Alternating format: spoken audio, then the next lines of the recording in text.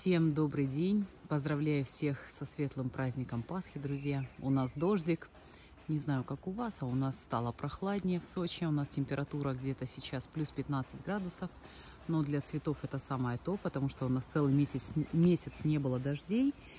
И сейчас на видео у меня роза парад, парейд, парад. Роза американской селекции. Растет в моем саду 4 года. Очень красивая роза. Не боится дождей, очень-очень красиво выглядит. Не показывает свою серединку. И вот так сейчас начался период ее цветения. Так что, пожалуйста, берите на заметку. Роза плетистая на юге России достигает примерно 2,5-3 метра.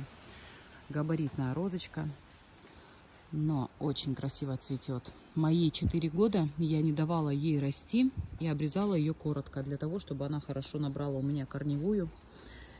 И вот теперь результат на лицо. Видите? Вот такие выпускает она уже плети. И пошла она у меня вот сюда вниз по забору вместе с клематисом. Я думаю, на следующий год уже будет достойный вид. Поэтому, пожалуйста, берите на заметку сорт Парад, Парейд, плетистая роза, обильно цветущая. И сейчас самое начало цветения. Цветы ярко-розовые, ароматная, не боится дождя. Очень красивая.